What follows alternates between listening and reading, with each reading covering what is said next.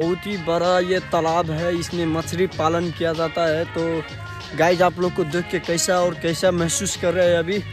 अभी आप लोग को हम बहुत से पोखरी दिखाएँगे और बहुत से तालाब उसको हिंदी में तालाब बोलते हैं क्या बोलता है वो दिखलाएँगे। तो आइए दोस्तों ये बहुत ही कितना बोलते हैं ना वो एक सौ एक बीघा में है। एक सौ एक बीघा में ये पूरा पोखरी है। अम, कितना दस कितना हो पंद्रह सोलह पोखरी है। बहुत बड़ा बड़ा है, आप लोग देख ही रहे हैं, बहुत ही बड़ा बड़ा पोखरी है। तो आइए दोस्तों, हम आप लोग को दिखाना चाहते हैं। जो आप लोग कभी नहीं देखे होंगे, इतना बड़ा पोखरी है। इसमें मछली पालन किया जाता है। हमारे गाँव में बहुत सा ऐसा कारखाना है, बहुत से ऐसा चीज़ बनता भी है और आदमी लोग करता भी है।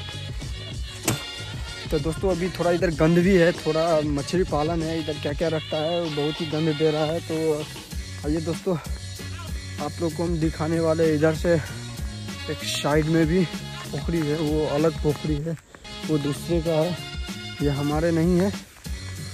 जय, हमारा बोल दिए। ये दूसरा का है? हमारे गाँव ही वाला का है, लेकिन ये वो अलग है, ये बहुत ही बड़ा पोखरी है, देखिए। अब ये एक पोखरी इधर हो गया और एक आगे है। आइए आप लोग को हम सारा पोखरी दिखाएँगे, एक से एक से एक करके दिखाएँगे, पूरे पोखरी।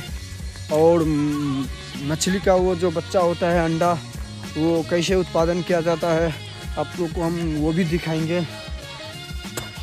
देखिए इसमें, यहाँ से वो पूरे आप लोग को दिख रहा है ना, आगे तक वो पूरे में पोखरी है।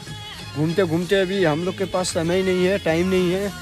नहीं तो आप लोग को हम पूरे पूरे पोखरी का शेयर कराते, लेकिन अभी टाइम नहीं है। जितना भी होगा हम लोग हम आप लोग को दिखाते रहेंगे।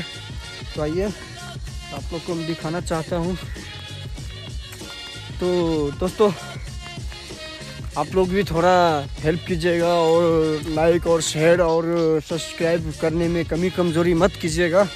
तो यही आशा करता हूँ कि आप लोग भी नहीं करेंगे और ज़रूरी और लाइक और सब्सक्राइब ज़रूरी कर देना यार। दोस्तों, अभी अभी तक हमारा सौ से सौ सब्सक्राइबर हो चुका है और उससे आगे बढ़ाने में आप लोग भी थोड़ा प्यार दिखलाइएगा तो और भी आगे बढ़ेंगे।